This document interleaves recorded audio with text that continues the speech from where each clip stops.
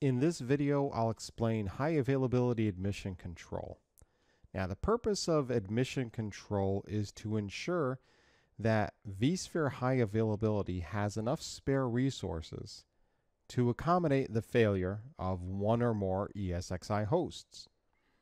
And when we have a host failure with HA, all of the VMs that were running on that host will fail and they'll get booted up on other hosts within that cluster. So as these VMs that are failed up get restarted on these other hosts, we're going to use admission control to ensure that those hosts that still remain have enough spare resources to adequately run those virtual machines. It also makes sure that virtual machines with reservations will be able to boot. Now, if a virtual machine has a reservation, that means that that VM is guaranteed a certain amount of resources. And if those resources are not available, the VM won't be able to boot. So again, high availability admission control is going to help us ensure that if an HA event occurs, every single virtual machine ends up booting up. So here we see a cluster of ESXi hosts, and on each of these ESXi hosts, we're utilizing about 80% of the memory or CPU, right? And if one of these hosts now fails, there's not enough spare capacity on the surviving hosts to adequately run those virtual machines. Therefore, we need something like admission control to kind of place some limits on these hosts and ensure that we don't run so many VMs that we can't tolerate a failure.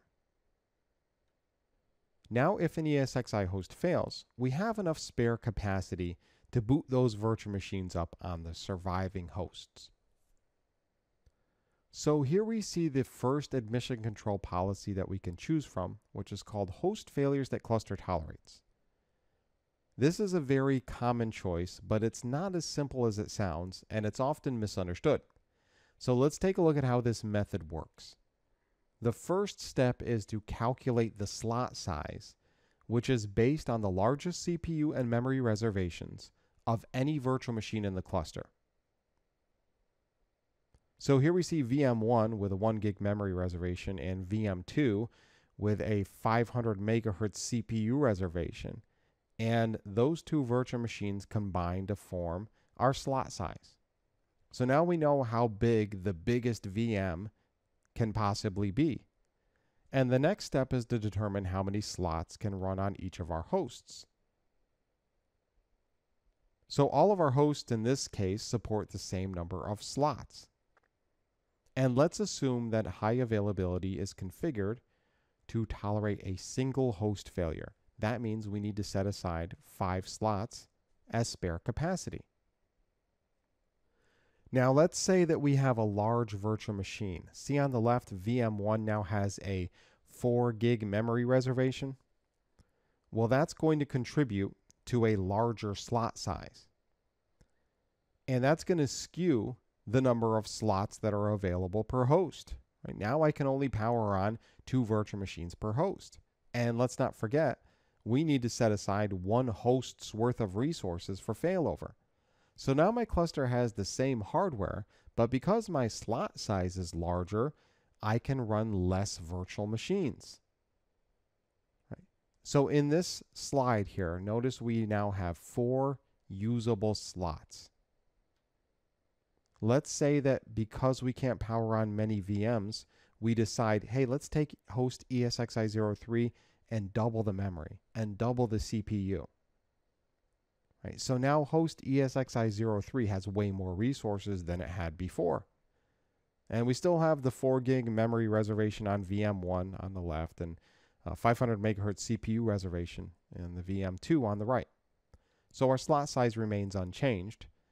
But now our cluster as a whole can run a total of eight slots. So we're hoping, hey, we're going to have more than four usable slots this time around. Well, nope, no such luck. Because we need to account for a failure of the largest host. Therefore, four slots have to be reserved for failover.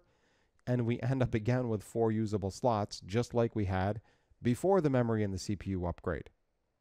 Right? So this method can be a little tricky. And when people can't boot up their virtual machines, they tend to turn off admission control, which is a bad thing. So there's a few things you can do. Number one, you can manually configure the slot size, or you could simply configure a percentage of resources that admission control reserves. No tricky slot sizes here. It's just a simple percentage that says, hey, we're going to reserve 25% of resources for failover. Well, then on all of these hosts, you know, 36 gigs out of 48 will be usable.